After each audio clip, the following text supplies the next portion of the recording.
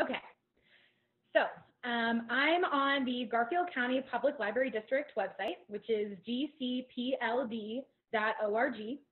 Um, so I'm going to start with that first step of getting a card. And so um, just really quickly, if you don't have a Garfield County Library card, don't fear. Um, there's this link that we've put up in our right corner called Get a Card, and um, you can register right here. So um, what this does is you fill out this form and it generates a number for you. So on our databases, you'll need your name and this library card number to log in. Um, I want to clear something up really quickly. It says you have limited privileges initially. This was normally true. And what that would mean is that if you did this online, you might not be able to get physical items at our libraries. Um, but since we're closed, that's not really an issue right now. So um, I would highly encourage you to, to fill this out and, and get your library card. So I'm going to jump back to um, our homepage. Um, so all of these are accessible through our research tab, okay? And um, it's, it's, so you click on that. Um, these are our online resources from A to Z. So these are in alphabetical order.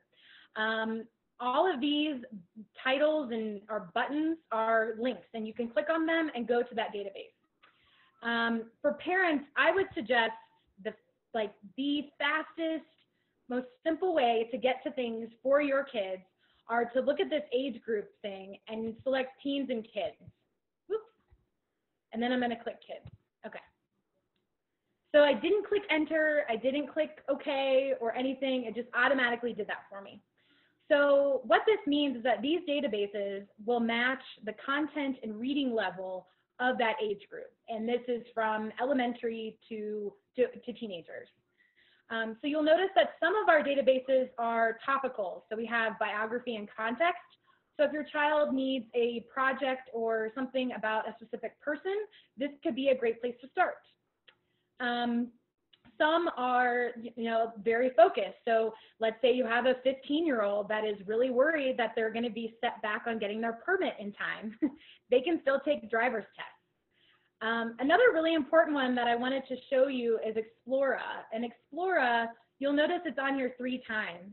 And, and it's already divided for you. So we have one for high schoolers and one for elementary school students, okay? So I'm gonna click access just to kind of show you what this looks like. Um, so you'll notice that this is a database, but it's already in a very kid-friendly format. There's already things immediately on here for your child to see and engage with. Um, and it's it's colorful, it's interesting, and and so and they can be directed very easily. So biography, geography, science, and health. Um, and so it can it can help speed that up and, and make it more interesting for them in general.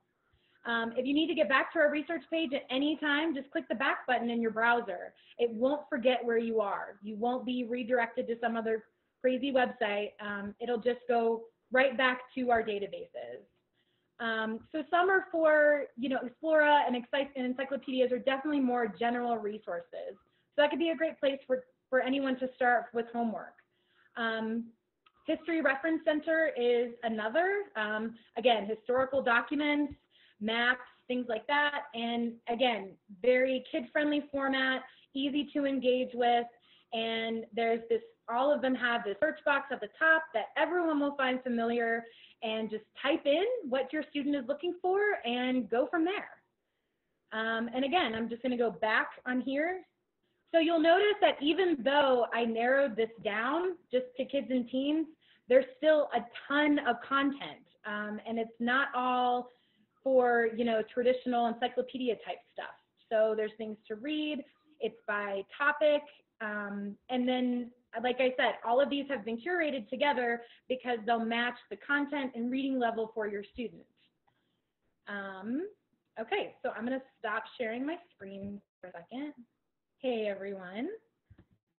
Um, all right, so just to kind of recap, um, I can imagine that some of you are now thinking, I'm not familiar with online databases either.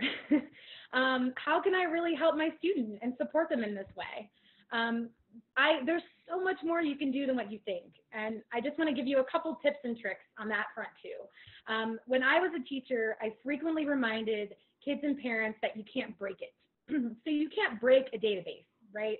You can click on everything and anything, play around with it. It will become more familiar, and and then you can learn together. Um, it can go a long way to start your your student or child off on the right foot. So maybe help them choose the right database, like that history or biography. You know, narrow it down for them at the beginning. And then I think this goes for everyone involved, and I would say this on so many different topics, but trust that you're doing a lot better than what you think. this can also just be a really fun activity to enjoy together. Your kids do have access to a lot of fun and interesting things for school, and they can view them in a safe environment, in an educational environment, and it's all available from your local library. Um, this doesn't just stop with middle school or even high school. And so that's why Becky Kramer is here from Colorado Mountain College.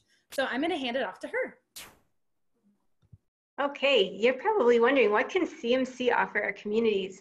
Well, we are ready to offer in-depth personal reference services for our greater Roaring Fork Valley and beyond.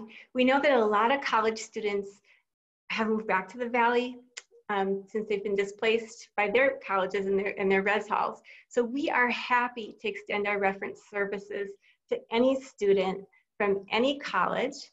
Also, we would be happy to meet with any community member who would like research help. Maybe you want to navigate the latest information on the pandemic and you don't know how to sift through all the resources. Maybe you want to find out more about what the state of Colorado is offering in terms of small business support. Maybe you're homeschooling, you want some, some homeschool research. Anything that you would want to know more about, you can make an appointment with any of our, our, our libraries that are reaching out to the community. And I'm going to show you how to do that in a minute. I'm going to share my screen and bring you to our website. And it's super simple, super easy, and you can get dialed in. So I'm going to share my screen. Uh-oh. Host disabled person. You're going to have to enable me to share my screen.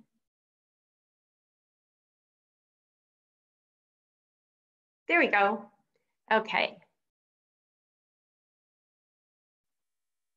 This is our, our CMC homepage, and you can simply get there by going to library.coloradomtn.edu, and it'll pop right up. And where you need to go to get help from our, our, our librarians is right here, phone or WebEx appointment. You simply click on the phone or WebEx appointment and you'll see several staff members that are going to be talking to public library patrons and helping you through navigate through any re reference, resource, database questions um, that you have. I think you can think of academic librarians um, as database wizards. That's what we do all the time. We're with, we're with students digging through databases, helping them find resources. And just like Lacey said, you can't break them, but sometimes it can be, um, you get stuck and, and we're here to help you get unstuck. So we have different ways you can get unstuck. You can email us, we can make a, a phone appointment, and we could even have a WebEx appointment, which is similar to what we're doing right now with Zoom. So I hope that you reach out to us and, and, and use our resources because we're here to help any way we can. Lacey, back to you. Thanks, Becky. Um, I just want to thank everybody for joining us. And, and if you have any other questions, whether that's as a parent or a student or a caregiver or, oh my gosh, what can I do? Um, please reach out to us. And like I said, this is, we're really trying to do an effort to let you know that we're still here for you.